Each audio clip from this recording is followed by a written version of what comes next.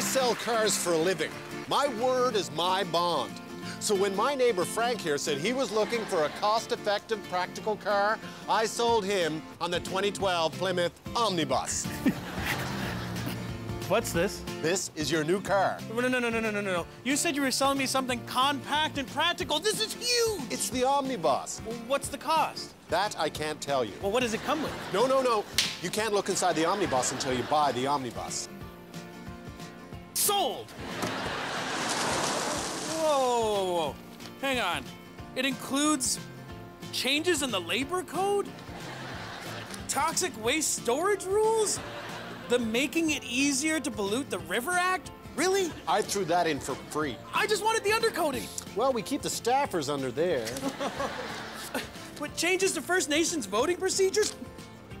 I have to name my first child Enbridge? Only if it's a girl.